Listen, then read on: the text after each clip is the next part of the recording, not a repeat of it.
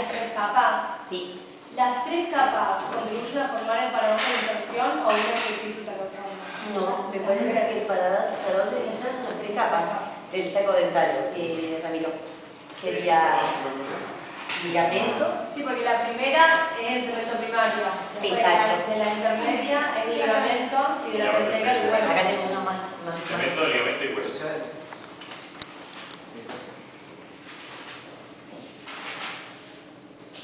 Acá, este maneja todo lo que tenemos ahora. A ver, vamos a hacer. Sí.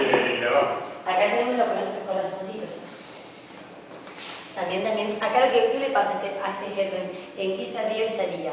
El anterior tenía dentina ya mineralizada, tenía una capa de dentina, este no la tiene. Entonces, ¿cómo sería? Casquete. ¿Y el otro?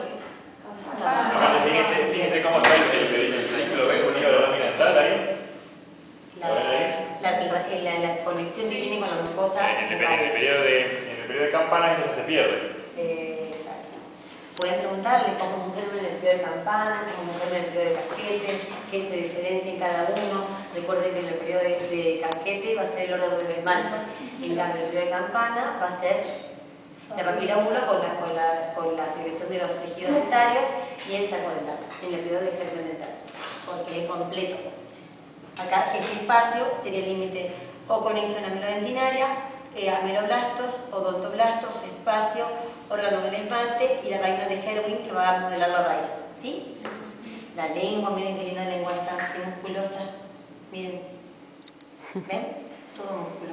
Yo les comentaba, acá tenemos otro germen, que este es un preparado capcioso, porque se le puede tomar un tejido cualquiera, por ejemplo este que es piel, ¿ven? Y estamos en germen es eso. ¿Sí? Siempre razonen eh, dónde está ubicada la piel, dónde están ubicados los epitelios para definir qué estamos viendo. ¿sí? En primer año cuesta relacionar, pero bueno, es interesante que lo, lo puedan hacer.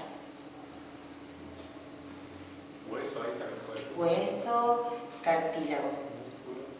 Sí, mu- mucho músculo, esa lengua, mucho músculo. Lindo preparado. Bueno, ya vimos dos distintos.